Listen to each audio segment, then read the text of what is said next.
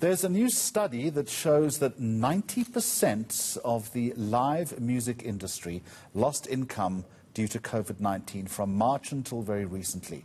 Of the musicians surveyed, 41% report selling their instruments and equipment to pay their bills. Others are living on loans that need to be repaid. And what's the upshot? Well, nearly half of South Africa's live music workers may quit the industry for good.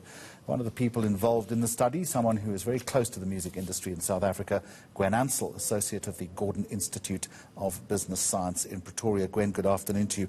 Music has always been a precarious job, hasn't it? But made a lot worse by the pandemic. But those numbers are simply horrible.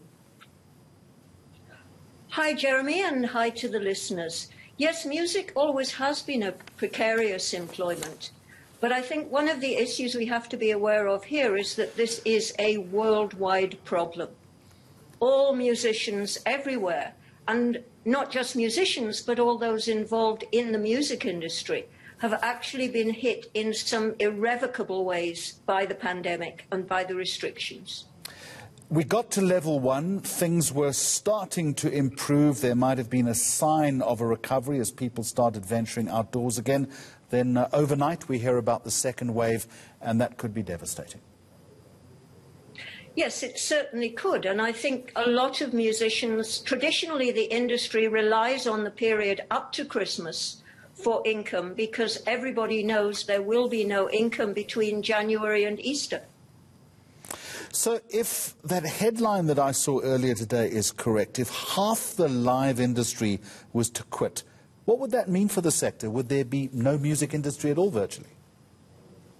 Well, um, to nuance that slightly, um, we asked people how they saw the prospects, and half the, nearly half the industry said that they were considering quitting. So a lot of this is very conditional and it depends on what kind of policies governments put in place.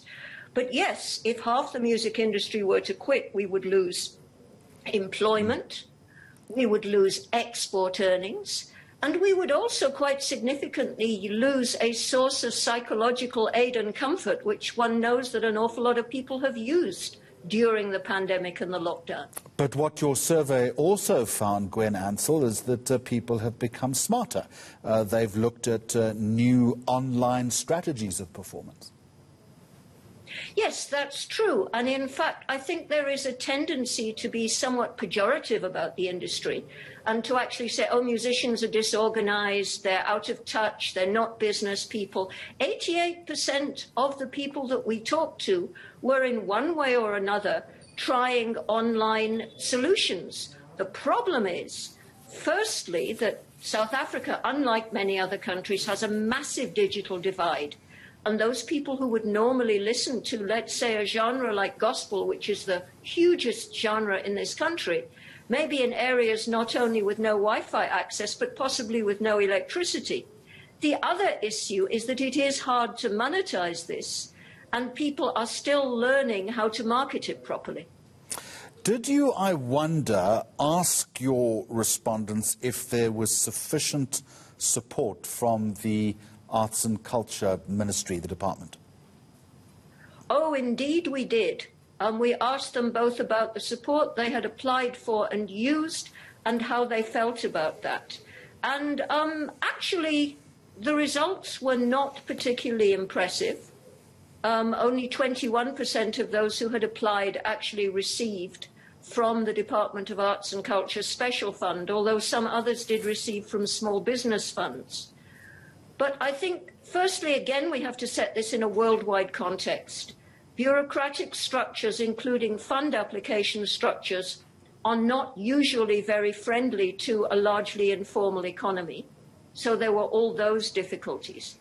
But what was more distressing to us was people citing both perceptions and experiences of the people they applied to, not understanding the industry, not being polite, possibly being biased against certain categories. Some classical musicians said they felt there was a bias against classical music.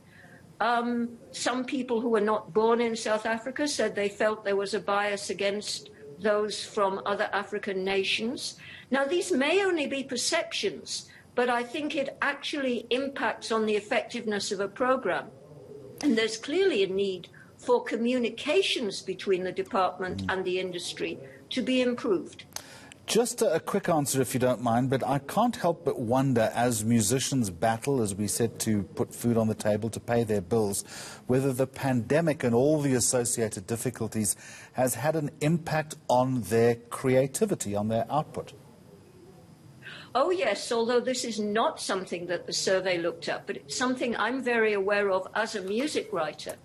Not only are people trying experimental online solutions, but people are also trying some really interesting ways of putting music together across long distances, of collaborations based on people not being in the same continent, never mind in the same room, and actually writing material which actually reflects on the pandemic and on the emotions that people are going through. This is one of the mm. reasons we need musicians. We can't afford to lose them. Gwen Ansell, thank you very much indeed. A well-known music writer, also associated with the Gordon Institute of Business Science. This is Thursday lunchtime.